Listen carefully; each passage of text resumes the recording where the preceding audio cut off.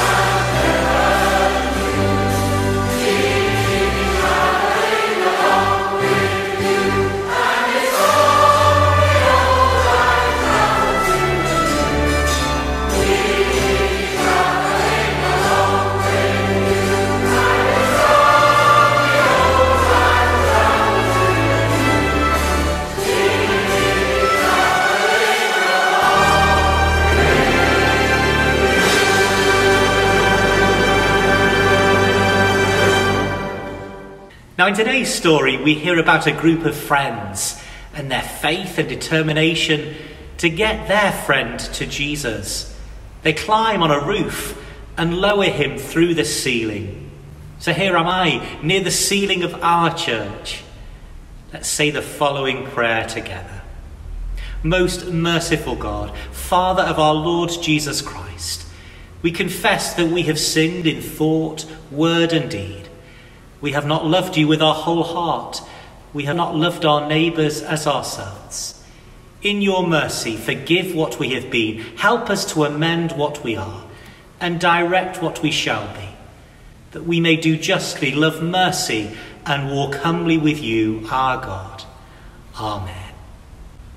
Almighty God, who forgives all who truly repent, have mercy upon you, pardon and deliver you from all your sins confirm and strengthen you in all goodness, and keep you in life eternal, through Jesus Christ our Lord.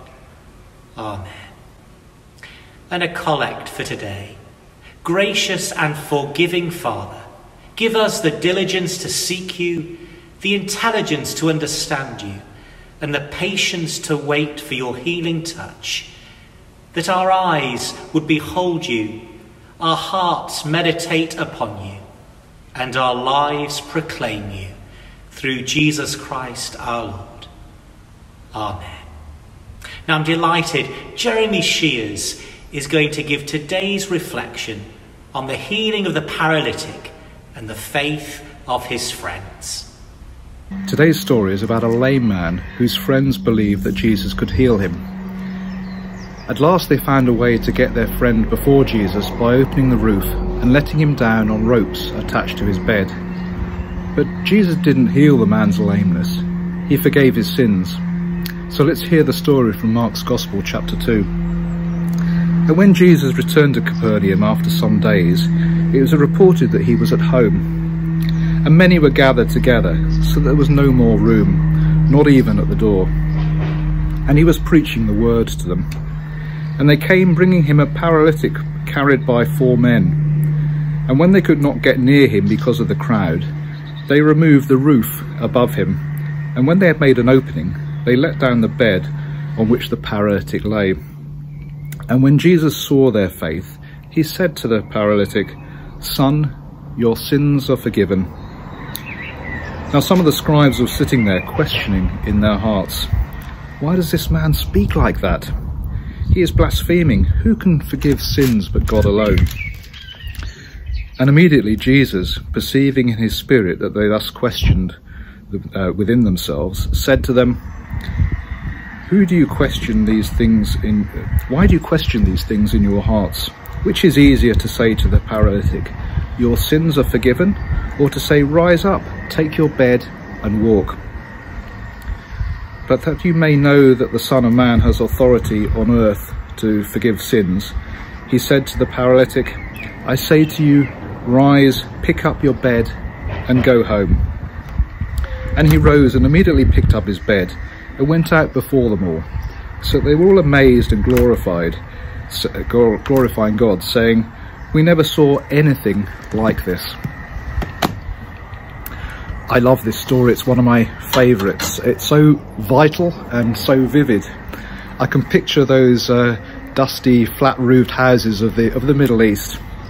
There's also colour and humour, as well as a wonderful sense of God's power and forgiveness.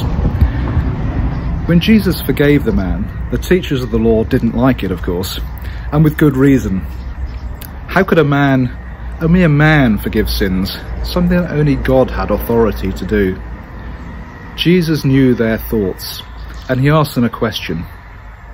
Which is easier, to say this to this paralyzed man, your sins are forgiven, or to say, get up, take your mat and walk? Now it was a rhetorical question, of course.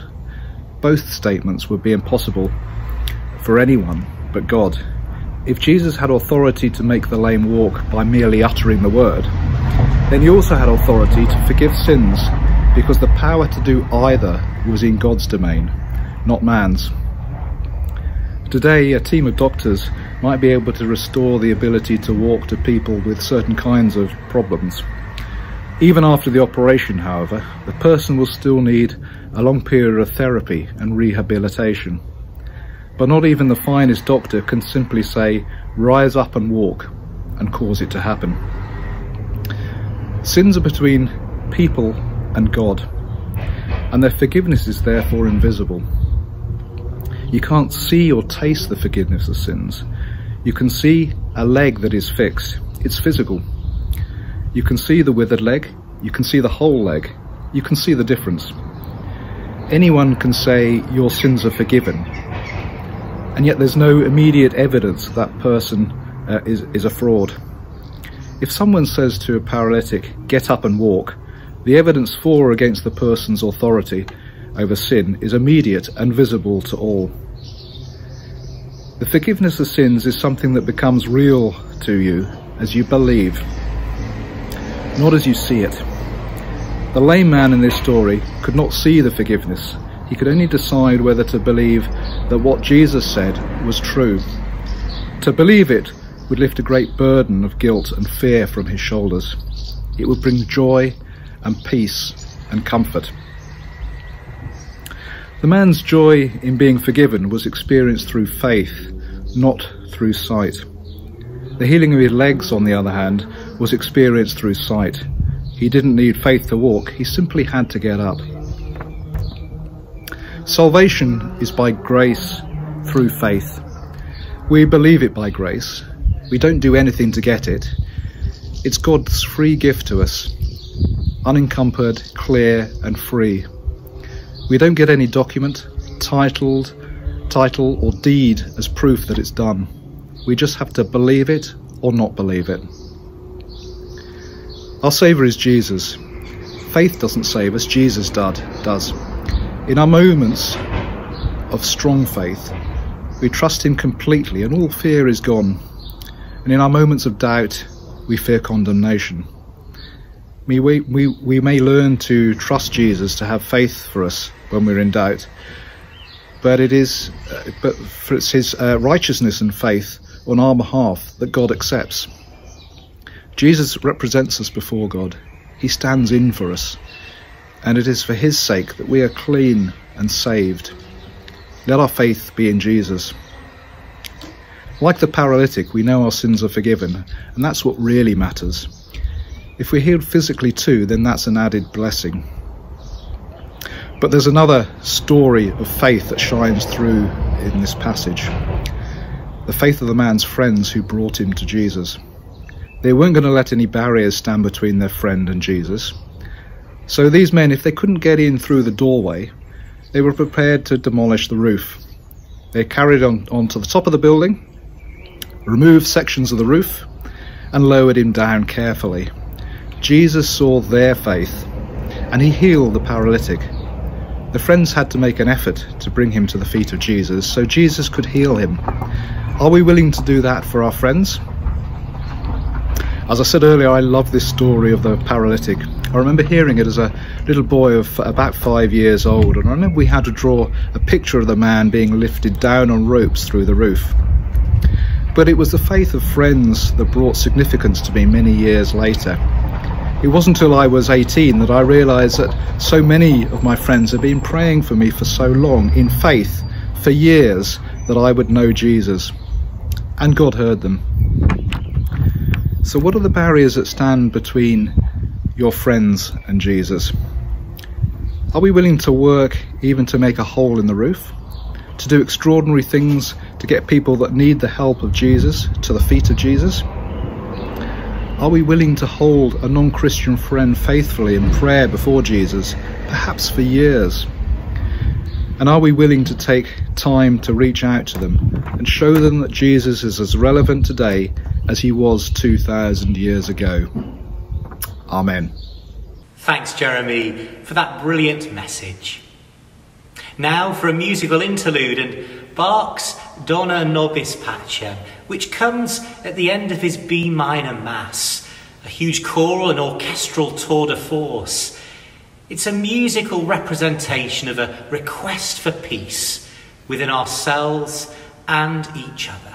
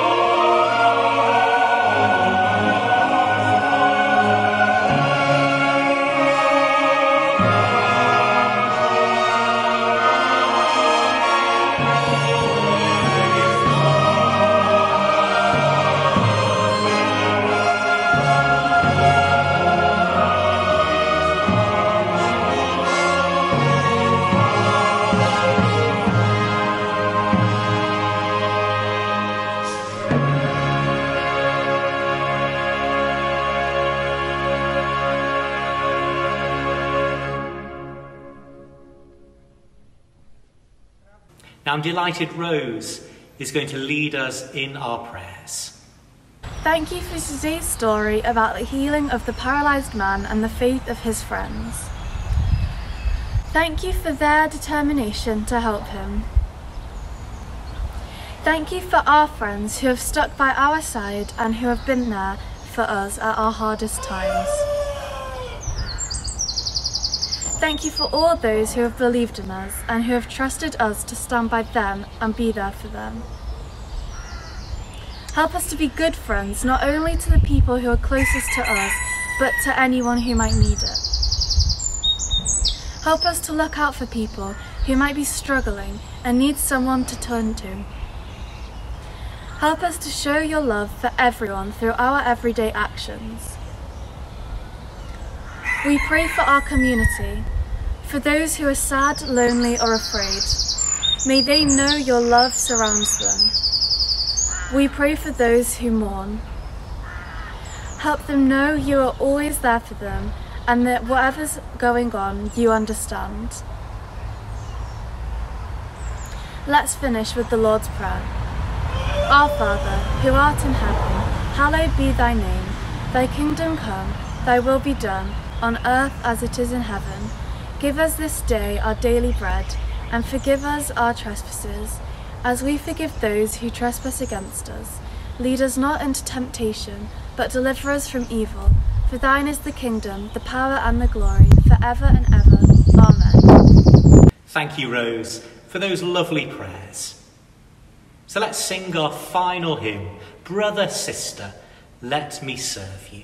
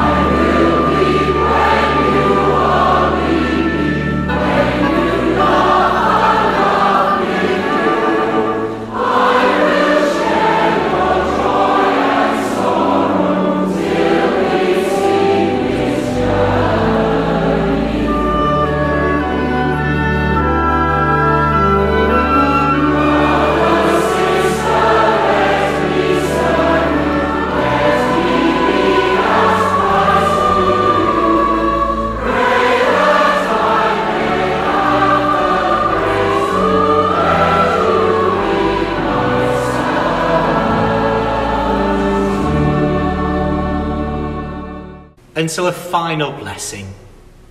May Christ bring you wholeness of body, mind, and spirit, grant you the riches of his grace, and give you his peace.